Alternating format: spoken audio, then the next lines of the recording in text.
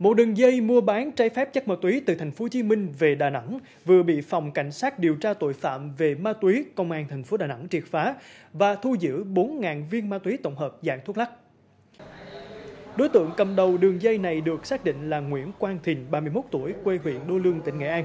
Theo cơ quan điều tra, từ đầu tháng 10, thông tin về đường dây ma túy do Thìn đứng ra tổ chức đã được phòng cảnh sát điều tra tội phạm về ma túy, công an thành phố Đà Nẵng theo dõi, phối hợp cùng công an thành phố Hồ Chí Minh và cục cảnh sát điều tra tội phạm về ma túy Bộ Công an.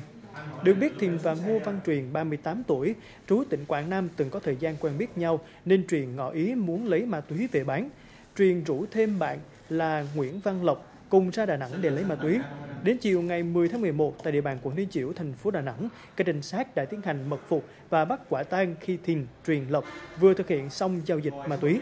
Khám xét trên ô tô của các đối tượng, công an thành phố Đà Nẵng phát hiện 4.000 viên ma túy thuốc lắc được các đối tượng cất giấu tinh vi. Tại cơ quan công an, cả ba đối tượng đã thừa nhận hành vi mua bán trái phép chất ma túy của mình.